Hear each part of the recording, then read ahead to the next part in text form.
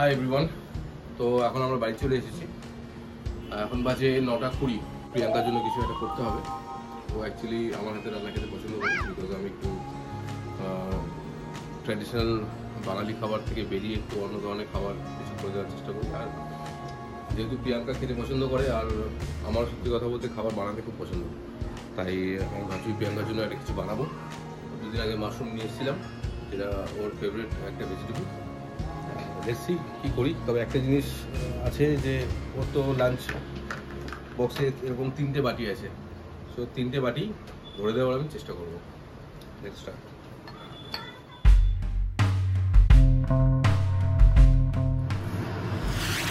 এখানে এখন তো কিচেনে অ্যাকচুয়ালি মাশরুমটা নিয়ে এসে রেখেছিলাম। আর মাশরুম দিয়ে কী করব আমি বুঝতে পারছিলাম না মানে পারছি না এখনও পর্যন্ত। আর এখানে কিছু সবজি আছে। আমি ভাবছি একটু সবজিটা বয়েল করে দেবো। লাঞ্চে একটু ভেজিটেবলসও থাকবে। আর মাশরুমের কিছু একটা করব। আর রাইস তো থাকবেই। তো আপনারা দেখতে থাকুন।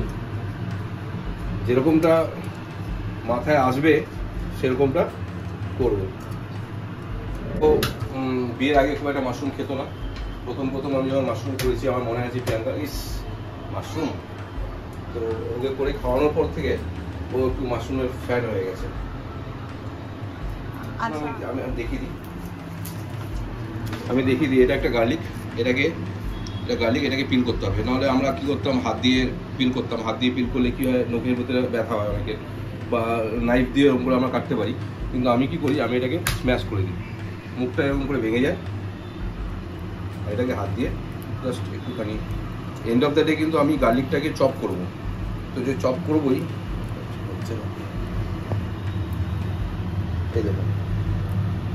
পছন্দ করে বেরিয়ে চলে আসবে। যখন ফুটছিল এর মধ্যে তরুণ ক্যারেট গুলোকে একটু টুকরো টুকরো করে কাটা আর পটেটোসকে একটু টুকরো টুকরো করে কাটা। ওটাকে এই বয়লিং ওয়াটারের মধ্যে দিয়ে দিয়েছে বয়েল হওয়ার জন্য।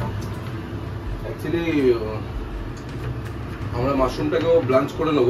তো মাশরুম তো ব্লাঞ্চ হতে বেশি সময় লাগে না ওই জন্য আলু আর ক্যারেটটাকে একটু আগে দিয়ে দিয়েছি। তাহলে যেন একসঙ্গে দুটো আর তিনটে আইটেম যেন একসঙ্গেই নেমে যায় আর কি। এই যে এইভাবে অনিয়ন কাটা এটা আমি এখনও অবধি শিখতে পারলাম না। আমার খুব ভয় লাগে। আমার যেন আমি যদি আমার ফিঙ্গারের ওপরেই চালিয়ে দিই। নুন নুন দিয়ে দেবো।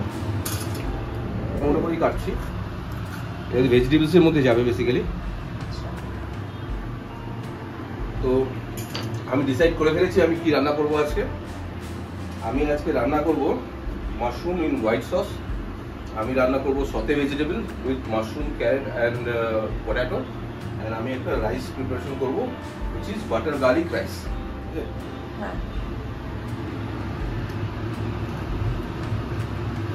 এবারে মাশরুম গুলোকে ওর মধ্যে দিয়ে দেওয়া হচ্ছে তাই তো? হ্যাঁ বয়েল ব্লাঞ্চ হবে হবে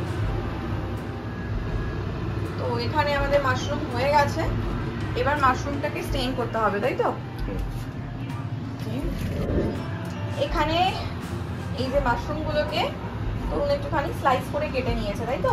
পাতলা করে। এখানে কড়াইতে সামান্য একটু সাদা তেল দেওয়া হয়েছে শর্টকাট তার মধ্যে একটুখানি আমরা গার্লিক দিয়েছি ও ওয়াও কড়াইশুটি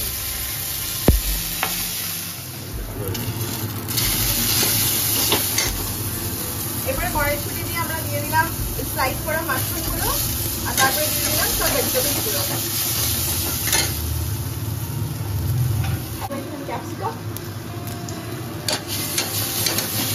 এগুলোকে দিয়ে এটাকে ভালো করে নাড়াচাড়া করতে হবে। আর আমি কিন্তু তোর মতন ওরকম পারি না। এবারে যাচ্ছে হচ্ছে আমাদের ভিনিগার যেরকম ভেজিটেবল সেই হিসাবে একটু ভিনিগার সব ভেজিটেবলসগুলো বয়েল করাই আছে, খুব বেশি সময় এটাতে লাগবে না। আর এরপরে হচ্ছে আমাদের যাচ্ছে বাটার এই যে দেখতেই পাচ্ছেন। আর এরপরে একটু যাচ্ছে ওপর থেকে অরিগানো। এবারে হচ্ছে নুন। সল্ট আর এইবারে হচ্ছে তরুণ এটাকে ভালো করে এবার মিশাবে। এই এই হলো আমাদের number one dish sauté vegetables ready দেখতে পাচ্ছেন? এরকম দেখতে হয়েছে সব ভেজিটেবলস গুলোকে চলুন এবার আপনাকে নাম্বার টু ডিশ দেখাই। এইবারে আবার এখানে মাশরুম গুলোকে এইভাবে স্লাইস করা হচ্ছে। এটাকে একটু মোটা মোটা করে স্লাইস করা কড়াইতে একটুখানি সাদা তেল দিয়ে দেওয়া হলো। একই কড়াইতে দিয়ে দিলাম। কড়াইটা ধর ব্যাপার নেই বিকজ এটা যা দেখতে পাচ্ছেন কড়াইতে লেগে আছে এটা সব উঠে যাবে। এরপর আমরা কি দিচ্ছি? গার্লিক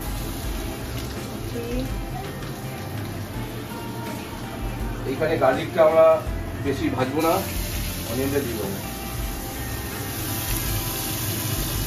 হালকা আছে গার্লিকটা বেশি কালার করব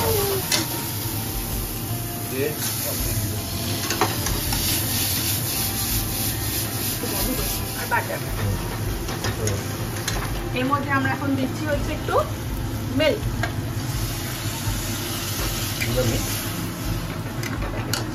এখানে আমাদের মিল্ক বয়েলড হয়ে গেছে যেটা আমরা মাশরুমের মধ্যে দিয়েছিলাম। আর এরপর আমরা কি দিচ্ছি?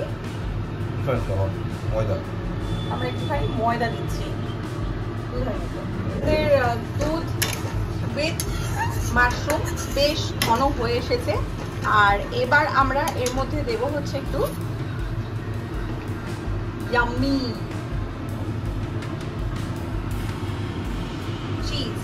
এর মধ্যে আমরা একটু চিজ গ্রেট করে দিচ্ছি। এর মধ্যে চিজটা দিয়ে একটু ভালো করে এটাকে নাড়াচাড়া করে নিতে হবে। রান্না করতে গিয়ে গেমে স্নান করে কি অবস্থা? কি অবস্থা? হয়ে গেছে গো তোমার আর করতে হবে না ছেড়ে দাও।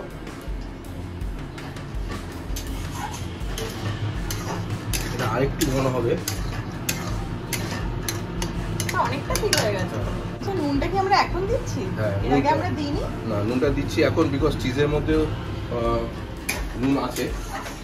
তো এখন দিয়ে নুনটা আমরা জাস্ট টেস্ট করব। তারপর যদি লাগে একটুখানি যাবে। আর এটা আমরা দিচ্ছি হচ্ছে একটু গোলমরিচের গুঁড়ো। গোলমরিচের গুঁড়ো। আর অরিগানো। আর হচ্ছে একটু অরিগানো। তো এটা হলো আমাদের সেকেন্ড ডিশ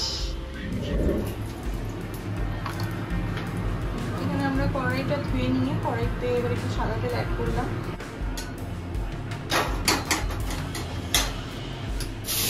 তো রাইস আমরা রাইস আমরা ডিরেক্টলি কড়াইটা গরম হয়ে গেলে তার মধ্যে দিয়ে দিলাম।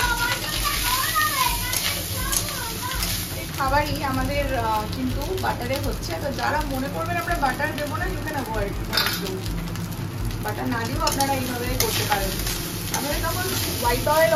যারা ডায়েট করেন হেলথ কনসিয়াস তারা আপনারা অলিভ অয়েল অলিভ অয়েলে করতে পারেন। এখানে রাইসের মধ্যে পিঞ্চ অফ সল্ট অ্যাড করছি, গোলমরিচের গুঁড়ো।